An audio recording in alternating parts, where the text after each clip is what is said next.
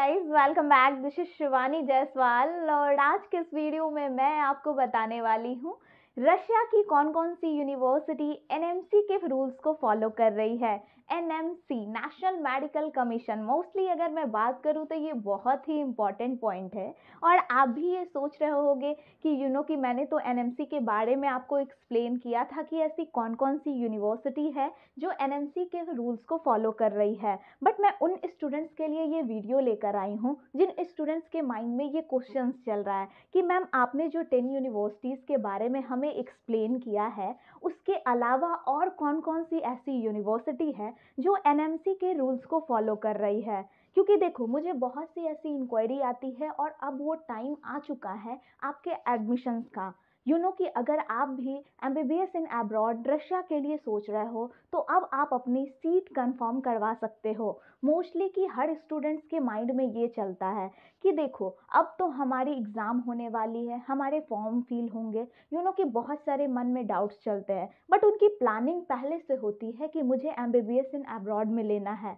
तो उसके लिए आप अपने सीट्स वगैरह कंफर्म करवा सकते हो। लेकिन जो भी आपकी एडमिशन्स होगी एडमिशन के प्रोसीजर वगैरह होंगे, वो आप सितंबर वाले बैच में ही जाओगे। तो जिन भी स्टूडेंट्स ने हमारे पास अभी सीट कंफर्म किया है, वो स्टूडेंट्स के माइंड में और भी कुछ कुछ यूनिवर्सिटीज़ चल रही है। तो मैं आज के वीडियो में आपको क्लियर करूँगी कि और कौन कौन सी ऐसी यूनिवर्सिटी है जो एनएमसी के रूल्स को फॉलो कर रही है। First of all, let me tell you that uh, Russia was founded 25 December 1991 and its capital is uh, Moscow. देखो बहुत सारी ऐसी स्टूडेंट्स भी हैं जिनके माइंड में ये क्वेश्चंस भी था कि मैम रशिया में हमारी जो कोर्स ड्यूरेशन है वो सिक्स ईयर की है बट ऐसा क्यों हमारे सिक्स ईयर में हमें क्या वहाँ पे पढ़ाई करनी होगी? हमारी क्या कोर्स ड्यूरेशन है? इन सब चीज़ों को लेकर भी बहुत सी ऐसी इंक्वायरी आ रही थी। तो देखो, मैं आज के इस वीडियो में आपको सबसे पहले फ़र्स्ट आपकी कोर्स ड्यूरेशन को क्लियर करूँगी। तो कोर्स ड्यूरेशन आपकी रशिया की सिक्स ईयर है, ठीक है? सिक्स ईयर में आपकी फ़र्स्ट सेकेंड थर्ड ईयर जो होता है, उसमें आपका सेवेंटी परसेंट थ्योरी पार्ट्स होता है और थर्टी परसेंट आपका क्लिनिकल रोटेशन होता है। बट आपकी जो लास्ट की तीन साल होती है, उसमें आपका सेवेंटी परसेंट क्लिनिकल रोटेशन होता है और थर्टी परसेंट आपकी थ्योरी पार्ट्स होती है। मोस्टली ये बहुत ही इंपॉर्टेंट पॉइंट है। और देखो, जब वहाँ आप क्लिनिकल रोटेशन के लिए जाओगे तो नॉर्मली आपको वहाँ पे लोकल लोगों से आपको रशियन में ही बात करनी होगी। क्योंकि आप भी जानते हो, अगर आप अभी इंडिया में हो एग्ज़ाम्पल अगर अभी आप इंडिया में हो तो इंडिया में आपको अपने लैंग्वेज में बात करनी होती है। जैसे यहाँ के लोग आपसे अपने लैंग्वेज में बात करते हैं। बट ऑब्वियसली आप एक दूसरी कंट्रीज़ आ रहे हो तो वहाँ पे आपसे जो लोकल लोग होंगे, जो क्लिनिकल रोटेशन के लिए आप जाओगे तो वहाँ के लोकल लोग आपसे रशियन में ही बात करेंगे। और उस रशियन के लिए आप जब स्टार्टिंग में एडमिशन लेते हो यूनिवर्सिटी में तो आपकी सिक्स मंथ की वहाँ पे लैंग्वेजेस की कोर्स भी होती है। और वो आपको करनी होती है। देखो, अगर आप वो करोगे तो हो सकता है कि वहाँ पे अभी आपको जब हॉस्पिटल्स वगैरह में जाओगे तो आपको अच्छा फीलिंग आएगा कि हमें आ रही है रशियन, हम वहाँ के लोकल लोगों से बात कर पा रहे हैं। तो ऑब्वियसली आप वहाँ पे कर सकते हो। तो आपकी जो कोर्स ड्यूरेशन है वहाँ की वो सिक्स ईयर है। So let's talk about your first university देखो, मैंने आपको और भी यूनिवर्सिटीज़ के बारे में डिफ़ाइन किया था बट मैं अभी आपको वो टेन यूनिवर्सिटीज़ के बारे में बताऊँगी, जो अभी और भी स्टूडेंट्स के माइंड में चल रहा है कि ये यूनिवर्सिटी एनएमसी के रूल्स को फॉलो कर रही है या नहीं कर रही है। जिसमें आपकी फ़र्स्ट नंबर पे आती है Kuban state medical university second number पे आती है north Ossetian state medical academy third number पे आती है आपकी northern state medical university.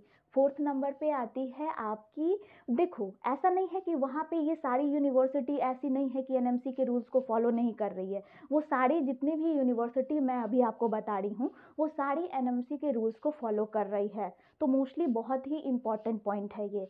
तो फोर्थ नंबर पे आती है आपकी Perm state medical university. Fifth number पे आती है आपकी Orenburg state medical university. Seven number पे आती है आपकी Mari state medical university eight number पे आती है आपकी Belgorod state medical university and आपकी नाइन नंबर पे आती है पेट्राजोवस्क स्टेट मेडिकल यूनिवर्सिटी। देखो ये सारी यूनिवर्सिटी जो है वो एनएमसी के रूल्स को फॉलो कर रही है। बट लाइक like, मैंने आपको और भी ऐसी यूनिवर्सिटीज़ के बारे में बताया था जैसे आपकी Kabardino Balkarian state medical university Ivanovo state medical university Ingush state medical university Kazan state medical university Kazan federal medical university mostly अगर मैं बात करूँ तो ये सारी भी यूनिवर्सिटी टोटल यूनिवर्सिटी ऐसी है जो एनएमसी के रूल्स को फॉलो कर रही है। आप ओरिजिनल वेबसाइट पे भी जाके ये सारी यूनिवर्सिटी के बारे में इंफॉर्मेशन ले सकते हैं। एंड मैंने अदरवाइज़ जो भी लो बजट की यूनिवर्सिटी है, उसके बारे में मैंने आपको सारी चीज़ें एक्सप्लेन की है। देखो, बहुत ही मोस्टली अब क्या है कि स्टूडेंट्स के माइंड में ये चलता है कि हमें इंडिया में तो हम अपने तरीके से हर मेहनत करते हैं कि हमारे इंडिया में हमें गवर्नमेंट यूनिवर्सिटी मिल जाए। बट देखो, यहाँ पे घबराना नहीं है। अगर आपको यहाँ पे गवर्नमेंट यूनिवर्सिटी नहीं मिल पा रही है इंडिया में तो मोस्टली आप चूज़ कर सकते हो एमबीबीएस इन रशिया को। क्योंकि यहाँ पे भी सबसे ज़्यादा इंडियन से स्टूडेंट्स चूज़ कर रहे हैं। तो ईज़िली आप कर सकते हो और यहाँ पे आपको किसी भी टाइप का प्रॉब्लम्स नहीं होगा हमारे थ्रू तो और भी इंफॉर्मेशन लाइक आपके माइंड में चल रही हो तो हमारा नंबर स्क्रीन पर शो कर रहा है। आप हमें कॉल कर सकते हो, आप हमें मैसेज कर सकते हो एंड आप हमारे इंस्टाग्राम पे भी चैट कर सकते हो फॉलो कर सकते हो। देखो, मैं ऐसा नहीं बोलती कि आप हमसे क्वेश्चंस मत करो। ऐसे ही आप क्वेश्चंस करते रहो ताकि मैं आपकी इन्फॉर्मेशन जवाब देती रहूँ। तो थैंक यू सो मच